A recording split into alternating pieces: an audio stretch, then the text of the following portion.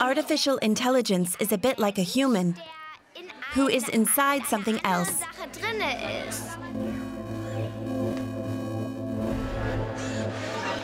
It's not as smart as you, but it could be as smart as you in the future.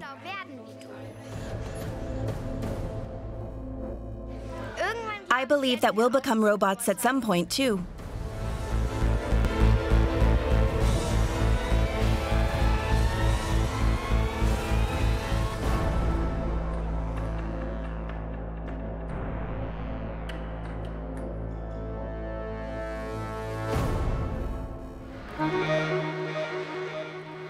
Artificial intelligence is changing our lives. But what can it really do? What will change? And what will remain science fiction? To answer these questions, we embarked on a journey to meet the scientists working on our future.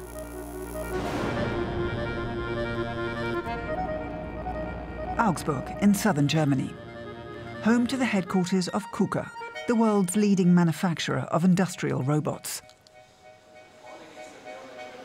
Rainer Bischoff is head of research here and is considered to be one of the world's leading experts in this field. He and his team are working on a new generation of robots that learn independently, like children. The task? To recognize and sort building blocks.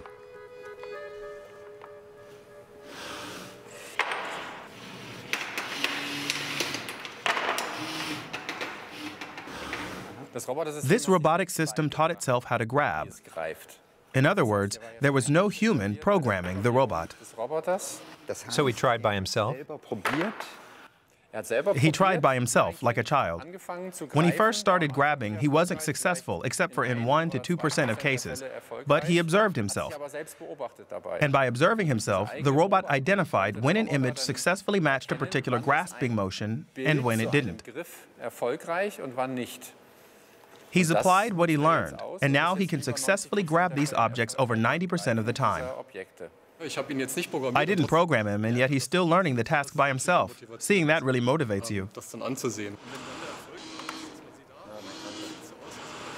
But what if the robot sees a new object, such as pliers? It's a nice example. Every child would just say, okay, grab and move those pliers over, no problem. But he's still failing. Er he's failing because he doesn't know what kind of inertial force this object has to be able to grab it properly. But you can see how he's already trying out different methods, and in time, he may get the hang of it. I should add that he isn't trained after every attempt. He collects around a thousand data, and then the neural net is retrained. So it's possible that if we let him try a thousand times, now he would at least be able to grab them reliably. Intelligent robots that learn by themselves. They can recognize parts, assemble them, and they can independently adapt to their environment with the help of AI.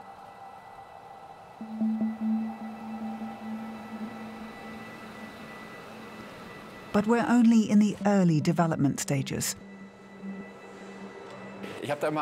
I have a favorite example, and that's chess. These days, there are computers or AI that can beat chess champions.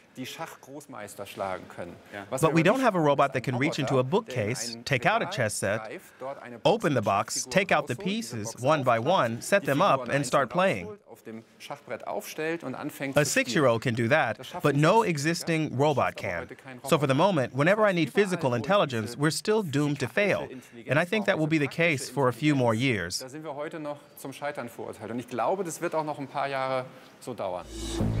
Yet machines are getting better and more intelligent. This video was produced using special effects. But this robot has learned how to play table tennis. He was built by researchers in Tübingen and shows how much is already possible in the real world. How long will it take before robots are better than us in some areas? Roboter sind ja heute in vielen Bereichen schon Robots already are better than us in many areas, particularly those requiring non-variant repetition, a great deal of force, or a high degree of precision. Precision an den Tag zu legen. Da, wo The tasks current robots are not as good at as we are are those involving sensors. einfach so sagen, There's no point denying that, and I think it will be another 10 or 20 years before we have robots that can hold a candle to humans in some areas. We humans use all of our senses and can do more than smart robots. But the robots are beginning to learn.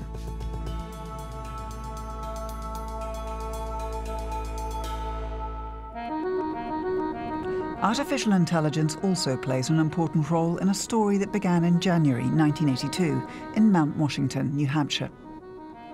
Hugh Herr was 17 years old at the time. Together with his friend Jeff Batzer, Hugh went up a mountain. But they were caught off guard by a change in the weather. A blizzard raged for three whole days. The missing boys were only found after four days. Both were alive, but they had severe frostbite. The doctors decided to amputate Hugh's legs just below the knee. 32 years later, Hugh Herr has AI legs, which he developed himself. He spoke on turning disability into opportunity at the TED conference in 2014. beginning to bridge the gap between disability and ability. Dancer Adrianne Haslet-Davis lost a leg in 2013 in the terrorist attack at the Boston Marathon. Thanks to the smart prosthesis by Hugh Herr, she can dance again. Sometimes you don't, sometimes you need it, then you don't,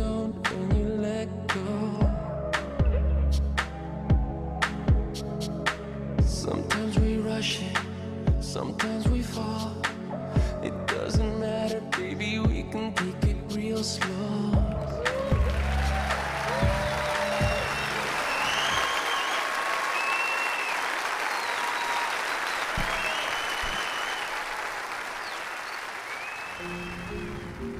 Boston, home to the Massachusetts Institute of Technology.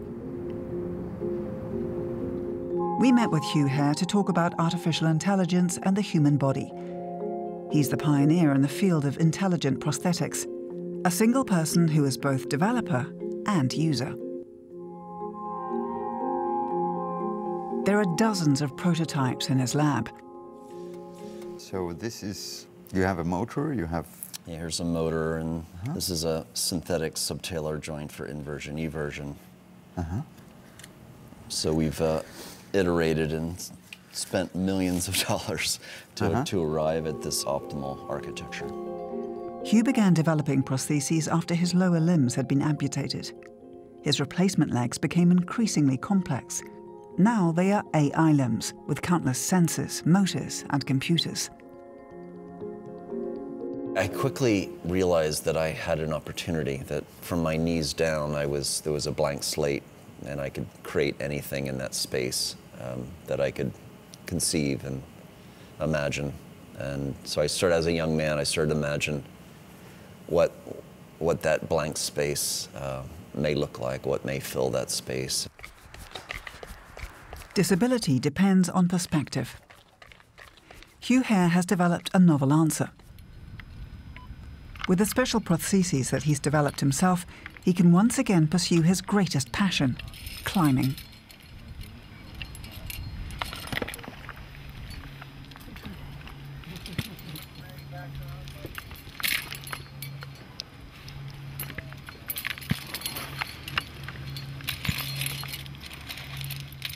so there is a computer in here? There's three, actually. Three. Yeah, and they're each Okay. the size of your thumbnail. Uh-huh.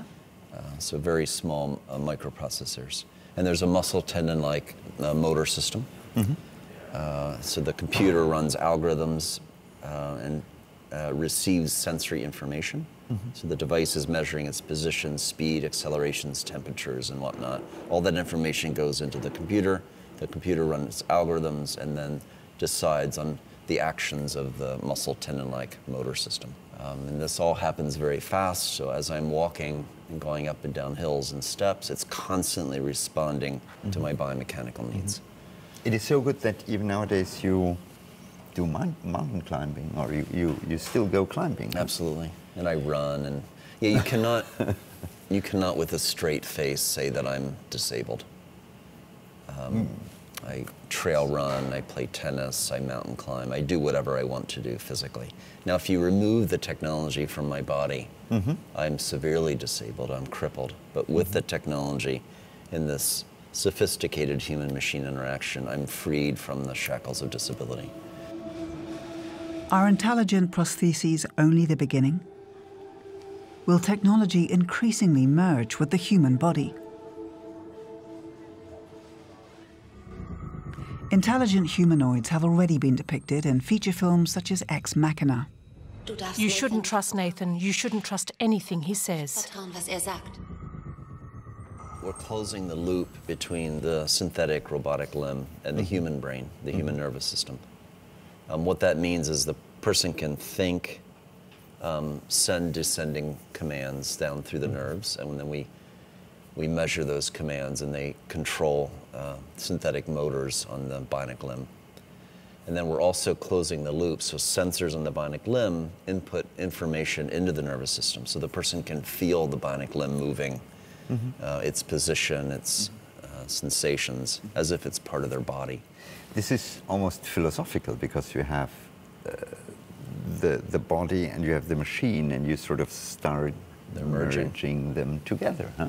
Yeah, and we're gaining evidence that when a human being can feel a synthetic body part, when they when they can touch it and it feels like normal touch, when they move it and it feels like a normal joint movement, that the synthetic object becomes part of their, their body, their identity, their self. Well, what's cool about having a significant part of your body that's designable and synthetic mm-hmm. is you can upgrade. So, given that I'm an MIT professor, I'm upgraded every week. I get new software and hardware. That's interesting. So- I go, I grow older. Right. No Exactly. upgrade, and, and you can get new new Right. limbs. so the synthetic part of my body is improving in time. My biological body is degenerating, uh, which is very peculiar. For Hugh Herr, artificial intelligence is a blessing. By the time our interview was over, a snowstorm was raging in Boston. An interesting coincidence, as this was also how Hugh's transition began. Thanks to AI, body and machine are slowly merging.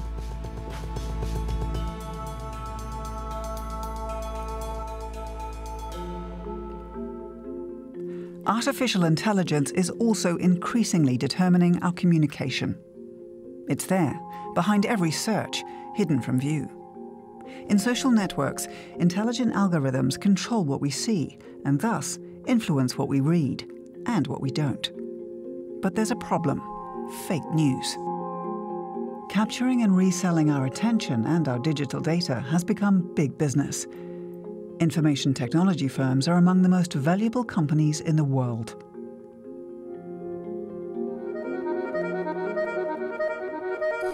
Facebook, YouTube, and Twitter have changed the media worldwide.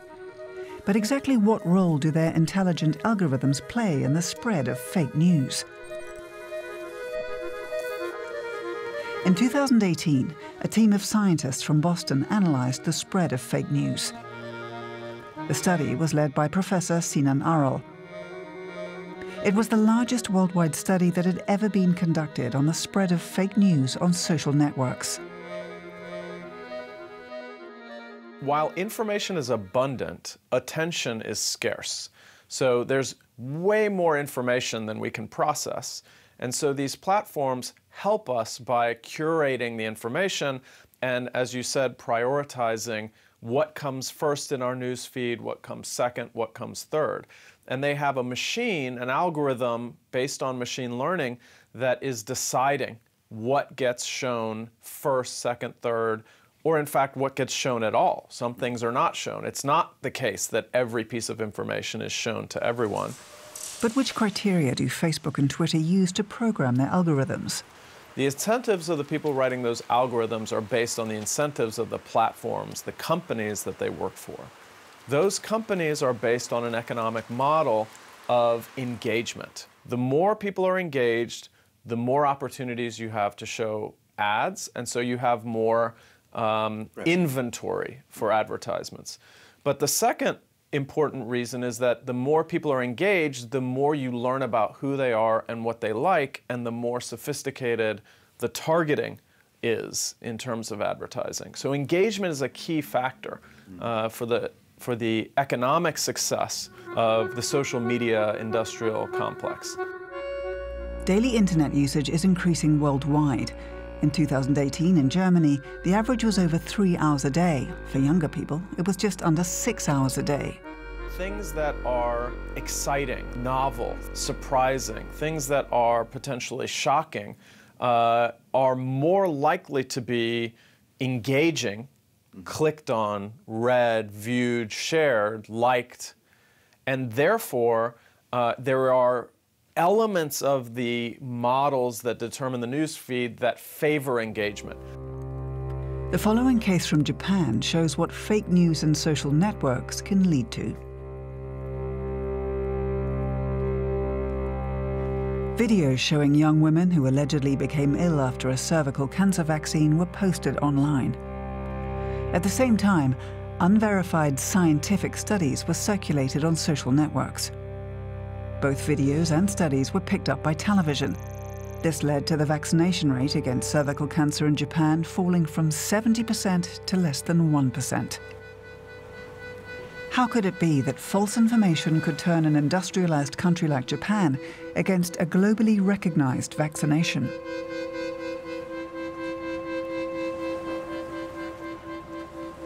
Hamburg, where we meet Riko Muranaka. The doctor had tried to counteract the anti vaccine hysteria and inform the public online. But then she was targeted. I was harshly attacked in the Twitters or social media when I started writing about the safety of the vaccines. They even tried to threaten me by sending all those blackmailing messages to my family or me.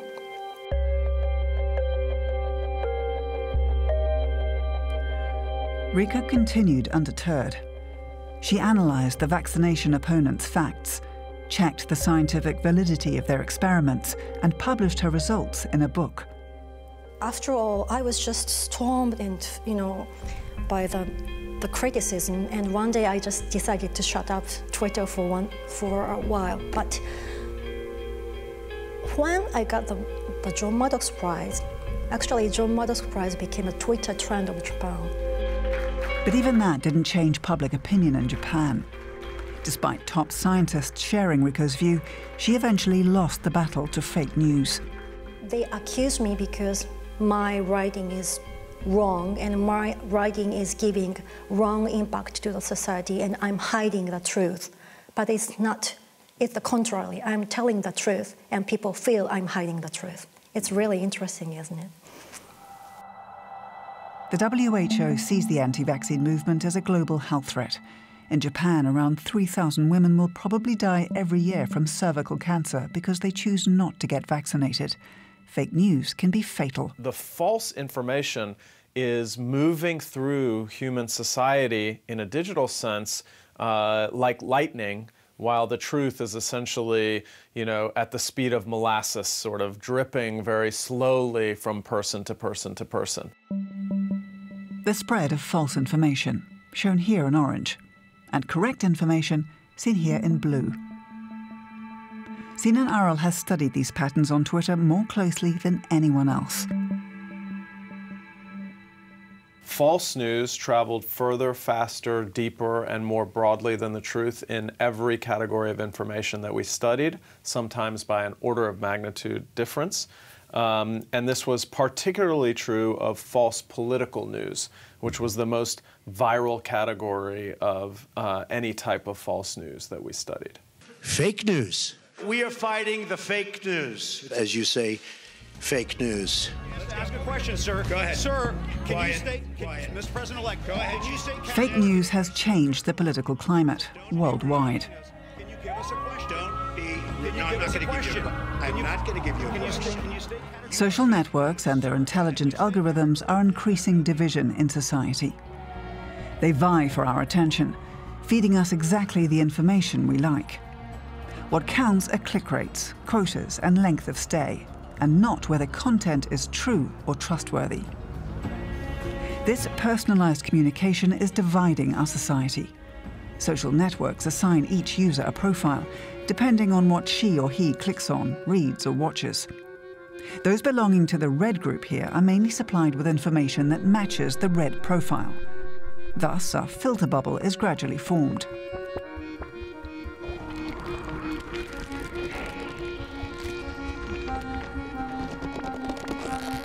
Everyone lives within their own network. Our opinion is echoed by like-minded people. Contradictory information and opinions hardly enter our bubbles.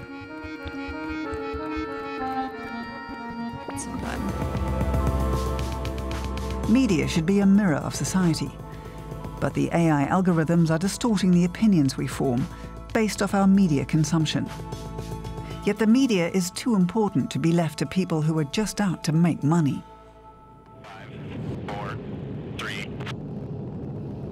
How will artificial intelligence change conflicts?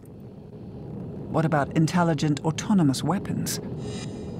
The military is already testing prototypes, like here in California.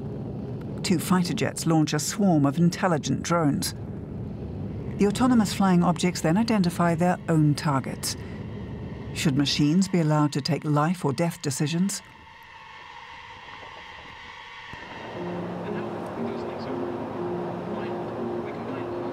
We traveled to meet one of the most respected ethicists on autonomous weapons in the US. He warns of uncontrollable development and is committed to a worldwide ban on autonomous weapons. We visited Yale professor Wendell Gelding in his house north of New York. Sometimes people do not fully understand what lethal autonomous weapons systems are. They tend to think of drones that might have facial recognition software and would pick off a terrorist that it sees in the distance or perhaps a few robotic soldiers mm. on a battlefield. What is sometimes not fully appreciated is lethal autonomy is not a weapon system.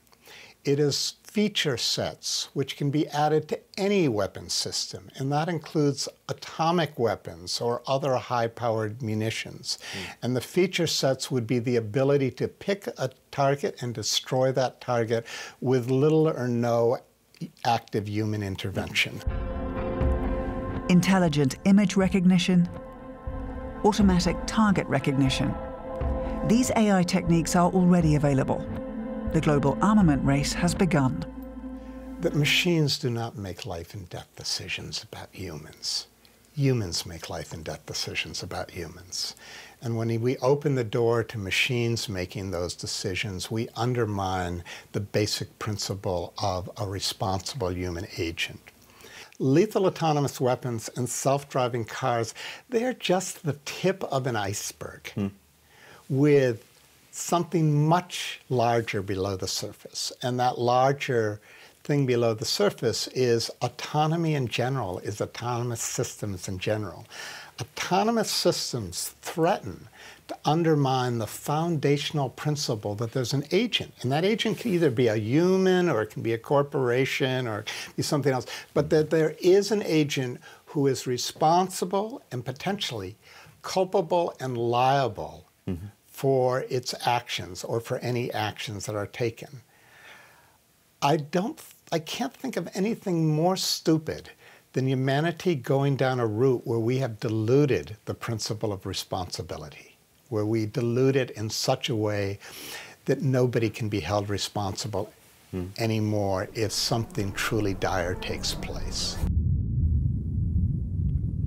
In the past, we have been too slow to recognize we were going down a wrong path. We need a worldwide ban on autonomous, intelligent weapons. Artificial intelligence will revolutionize industry. In Germany, the term Industry 4.0 has become a buzzword. Cars, robotic tools, and entire production plants are being linked via sensors and equipped with AI. But how will German companies fare in worldwide competition?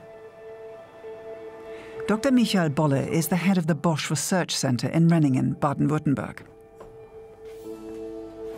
Artificial intelligence is one of the main focus points here.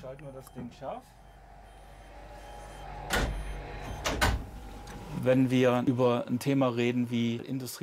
it comes to industrial AI, the AI that plays a role in products, then I think that the technology companies that have decades of experience in the physical world, in real life objects, and the corresponding experience in development and production have a competitive advantage when adding in machine learning and artificial intelligence. They have an advantage over companies that come purely from the virtual world. So I'm confident. And this is also the reason why we're investing so much in this area, and why we're rolling out and applying this expertise across the group. diese Kompetenz im Konzern ausrollen und zur Anwendung bringen. Germany has faith in its decades long technical expertise together with AI. One player who is fighting to get ahead is China. Changing of the guard at the gate of heavenly peace in Beijing. Soldiers, flags, Mao. This was the old image of the country. But modern day China has awakened. Digitalization and artificial intelligence promise a brave new world. An entire nation seems intoxicated by its own progress.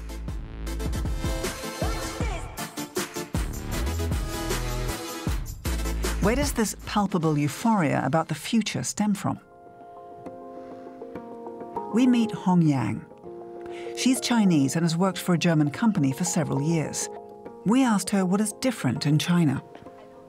Culturally speaking, we are mm. different. Mm. You know, in the in the um, in the traditional thinking, mm. we are more open to the you know the, the, the latest technology and open for the world. Mm.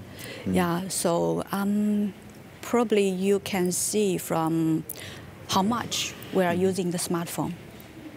Okay. Right, like um, like just now, mm -hmm. we buy the coffee with a smartphone, and uh, we pay for the taxi bill with a smartphone. And um, sometimes my German colleagues they are astonished to say that you don't even to have to bring cash with you. Mm -hmm. And I said, yeah, that's normal life.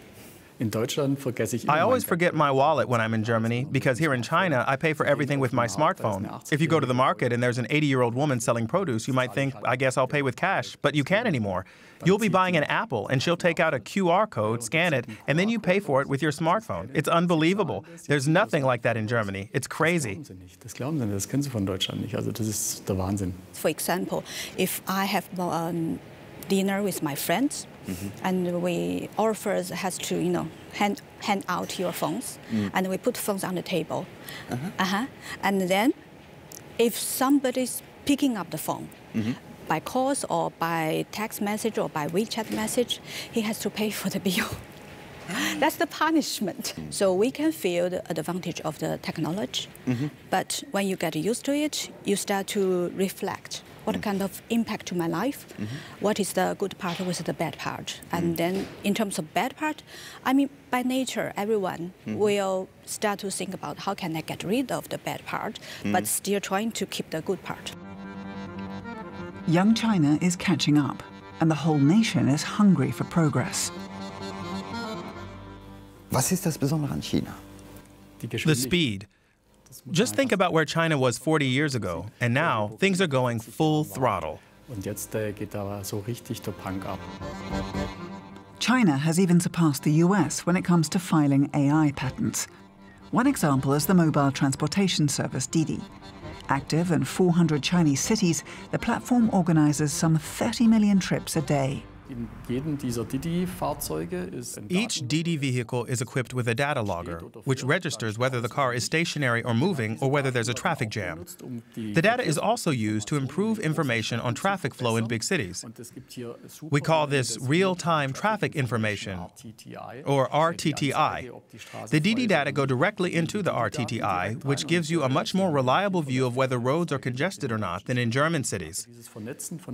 Connecting everything with everything else and generating added value from that. The Chinese are really, really good at that. Da sind die Chinesen schon richtig, richtig gut.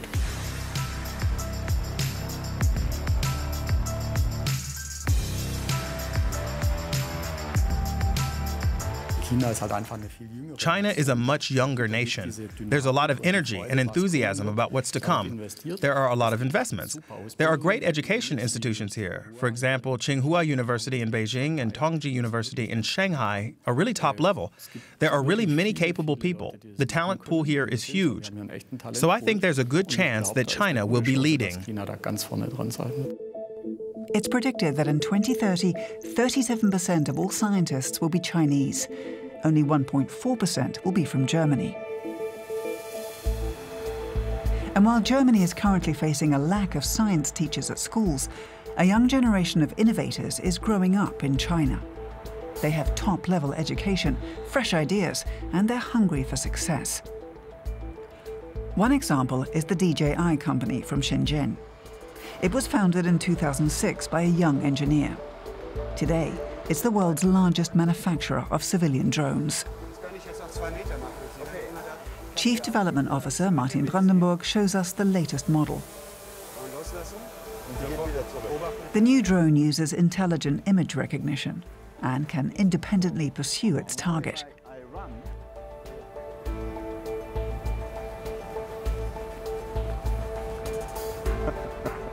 Equipped with dozens of sensors and smart positioning, it can detect obstacles such as trees or bushes. The tree saves my life. Noch ist es so. The tree was the limit because the drone says no. In this case, the drone said, I can't fly through it safely, so I'd better stop. As I understand it, it's very common here in China to combine things facial recognition, navigating, flying. Yes, and in this case, only visuals were used. You don't have a Bluetooth transmitter or anything else on you. The pilot simply says, I want to follow Ranga on the display, confirms, and then the drone follows you. Innovation made in China. Chinese television proudly reports such successes. China no longer copies. Modern day China invents. DJI is truly the first global brand with a completely new product range from China. Before, China was primarily known as the world's factory. That's changing now, and the perception is also changing.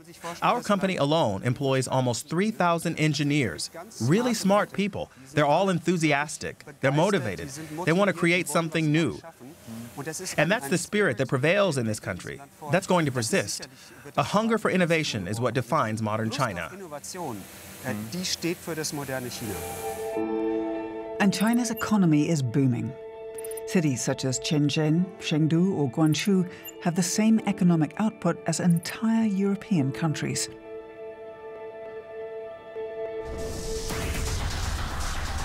The country is investing in its young people.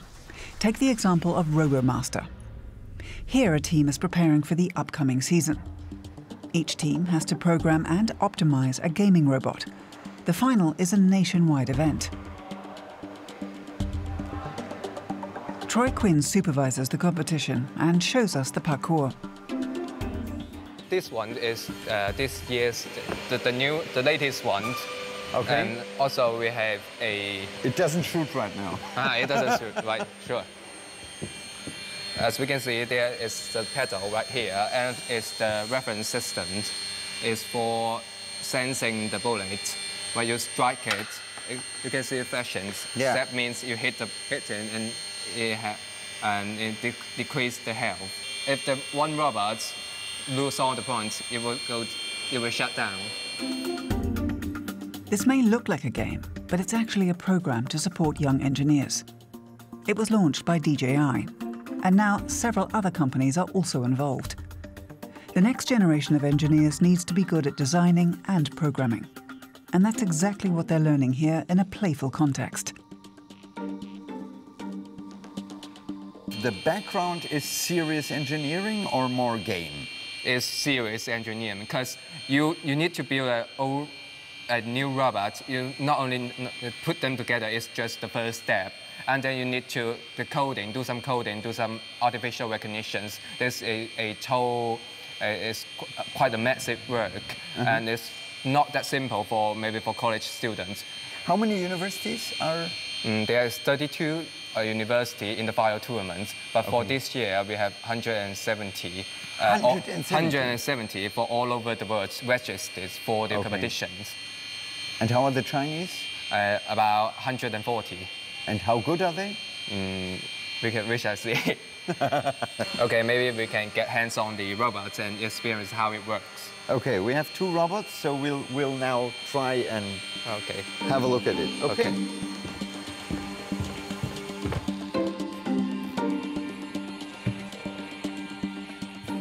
Troy needs just a few key combinations to control the robot.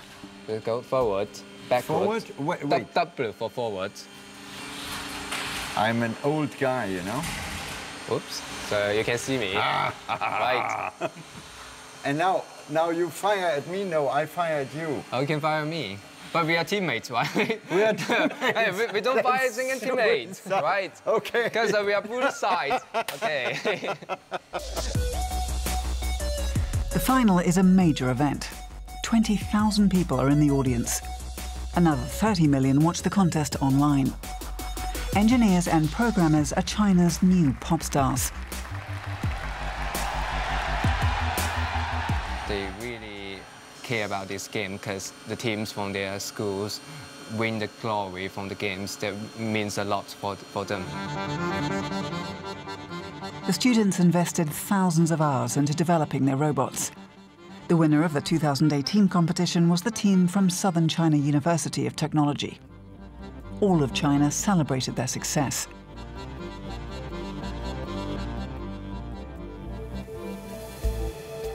There are also excellent initiatives in Germany. One example is the so-called Ideen Expo in Hanover. Around 300,000 students come here within a single week. It's the largest classroom in Europe. Young people are introduced to new tech, learn how to program, and design new circuits. And they seem to love it. But in contrast to China, German media hardly take note. Germany talks too little about its successes. We too can keep up with the global AI race, if we want to, but we really have to step on the gas.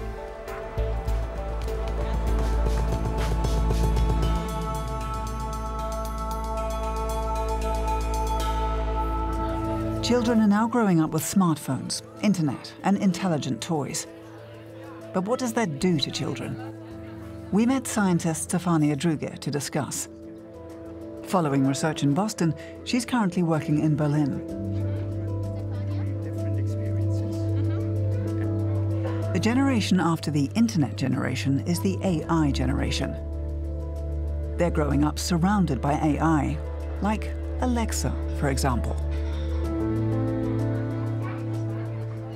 You know, this device was not designed for children, right? This device was designed for households, so families make purchases via this device. And I think it's very important to recognize when we talk about kids and when we talk about regulation for smart toys and regulation of devices that record data about our kids, to understand who made, made these devices and what was the ultimate goal of this device. Uh, Just imagine you Mhm. in some years, you might also have children. Mhm. Would you sort of install Alexa in your home? It depends what Alexa, the platform, would look like then, where I would live. Uh, Right now? Right now, no. Alexa. Alexa, how many seconds are there in a year?